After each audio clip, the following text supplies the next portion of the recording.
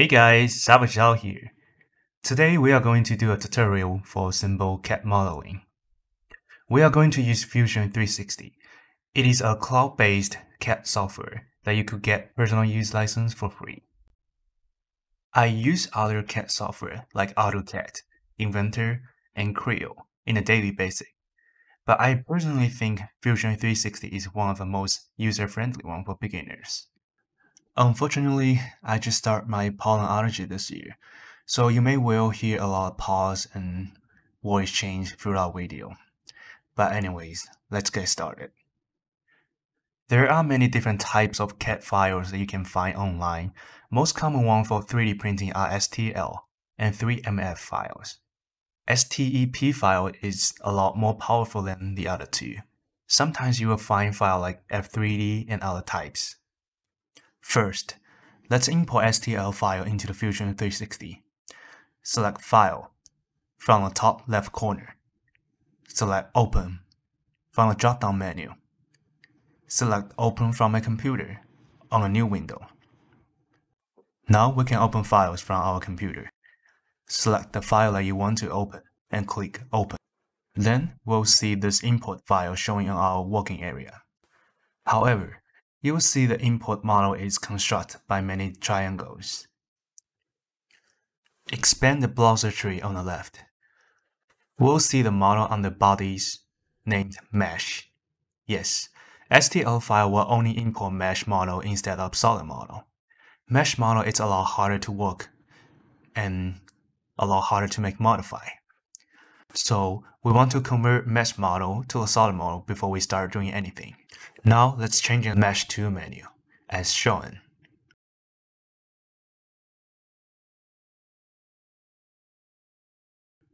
Select Modify to Group. On the drop-down menu, select Convert Mesh. A window appears on the right. Select the model we want to convert if necessary. Leave the mirth setting as default. Click OK. You will see the model have some kind of appearance change it still looks like constructed by many triangles. Look at the browser tree right now on the left. Under bodies. Mesh body now is changed to solid body. You'll see the symbol change before the body's name. Now we could start making modify on the solid body. Change the tool panel to the solid. The basic working flow is that you first create sketch on the surface, and then use different type of tool to convert the sketch to a solid model.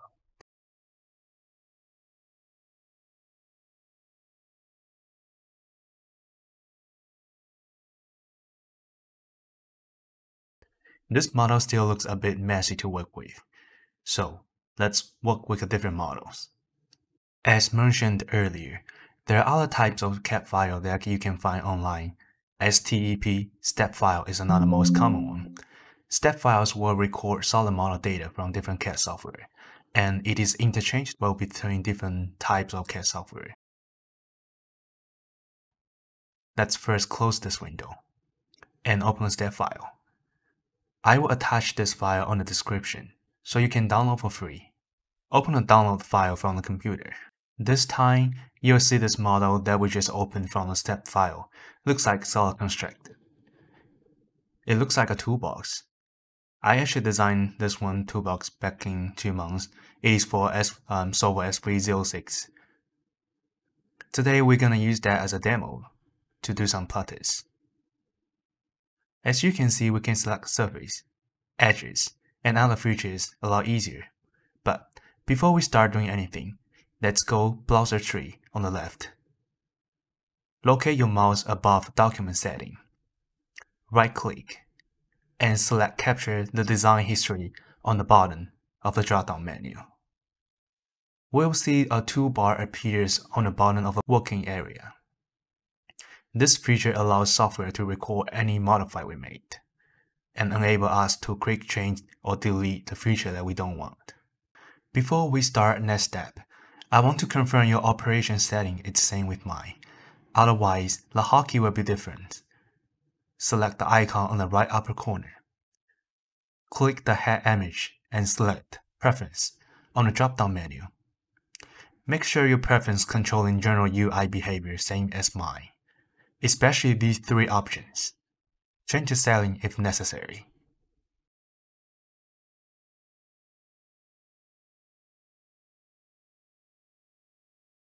Hit OK to save the change. Let's quickly go through the basic control operation. The left click of the mouse is selecting stuff.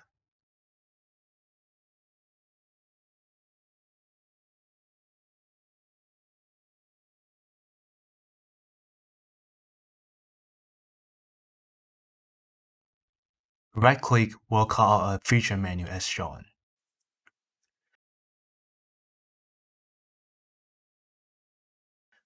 The roller is using to zoom in and out for the review on the working area.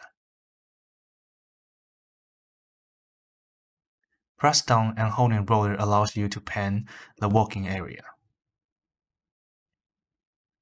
Or you can select this little hand here to pan around the working review.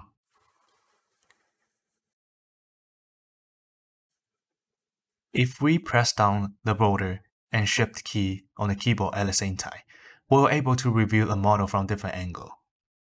The review will orbit around the mouse where it locates at.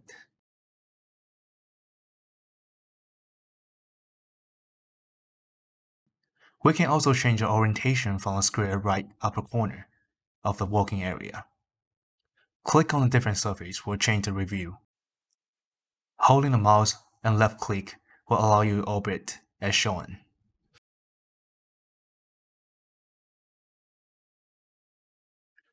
Now let's get started modeling this tool holder.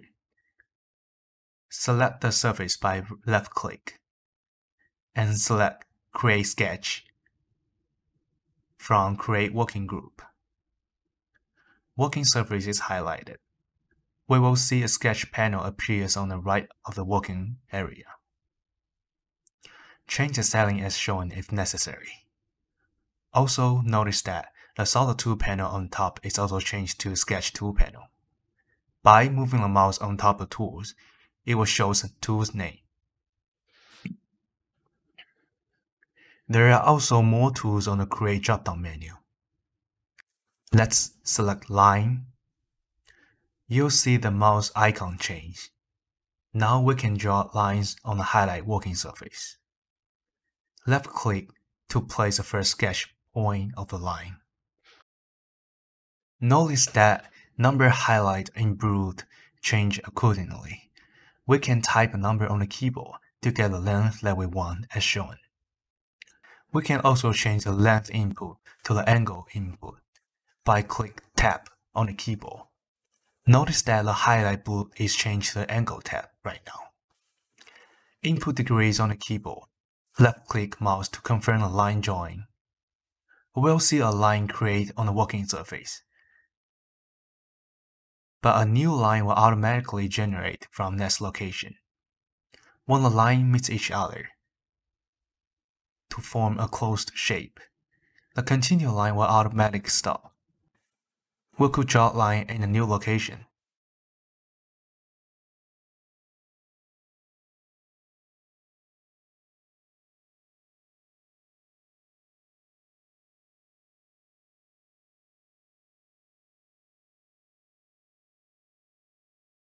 Cancel a line join by hit the exit on the keyboard. We can also use other drawing tool as shown.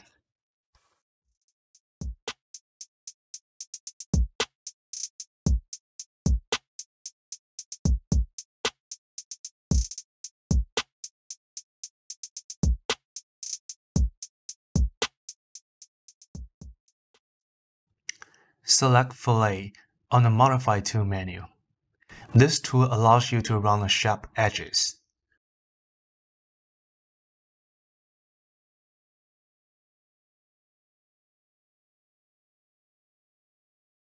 Notice that a scissor icon is next to the fillet feature. It allows you to cut a line that we don't need on the drawing. Now let's say we already finished sketch we can select Finish Sketch on the right side of the working area.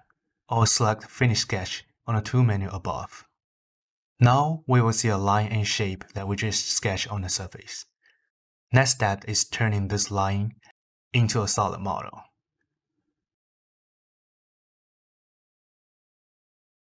Select Extruder on the Modify Tool menu.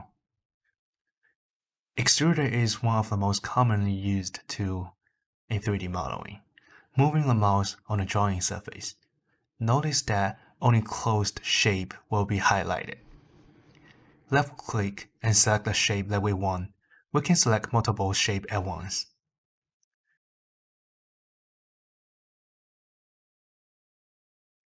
Select unwanted shape one more time or deselect it. After selecting the feature that we want, notice that there is one arrow appears on the last shape that we selected.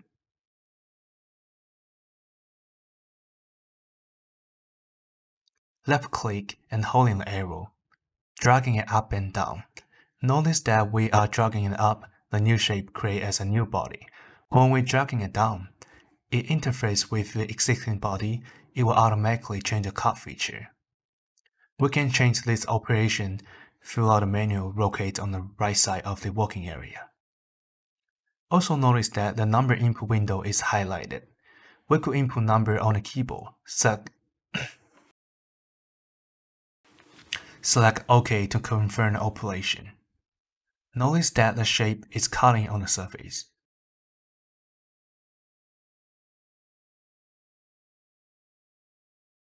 We can select Fillet feature on the Modify Tool menu to round the edges.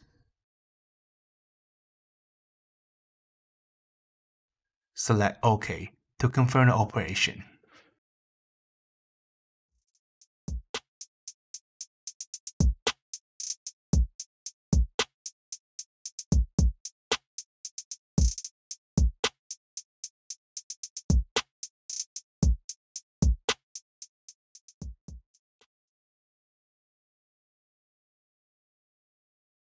Notice that design history on the bottom of the working area, recording every single operation that we made to this model. Now we can edit or delete the feature that we made to change the model.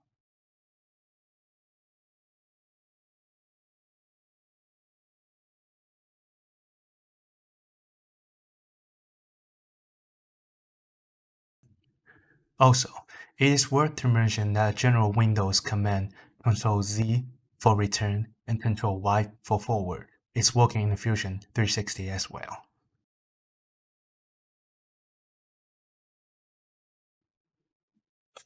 Now let's take a look of a quick demonstration of my regular working flow. I can also rest my voice a bit.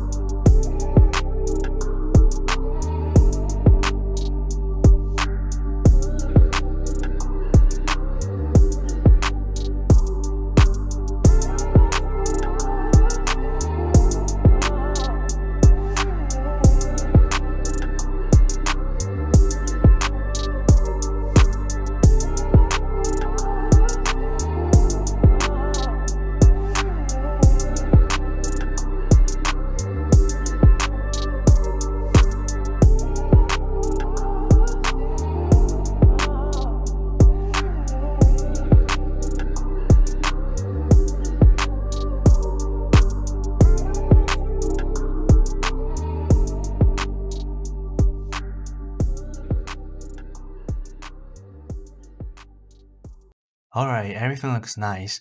We can save the design file by click File on here. Select Save on the drop-down menu. It is also recommended that to save the file occasionally during the design process. Sometimes a specific feature will cause software crash.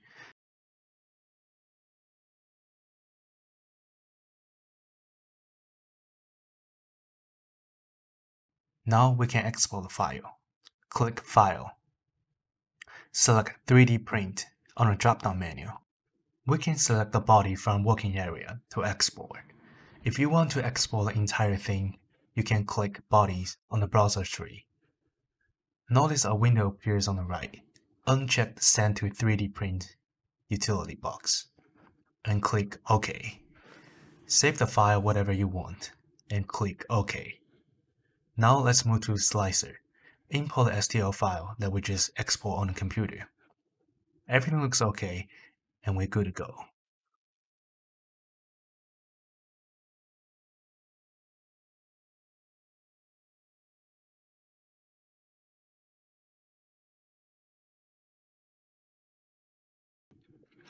Alright guys, that's it for today. If you have any comment, thought, please leave in the comment section below. If you like the video, please hit the like button and subscribe. I will start a brand new series to show you guys how to do the basic 3D modeling on Fusion 360. Thank you for watching, I'll see you next time.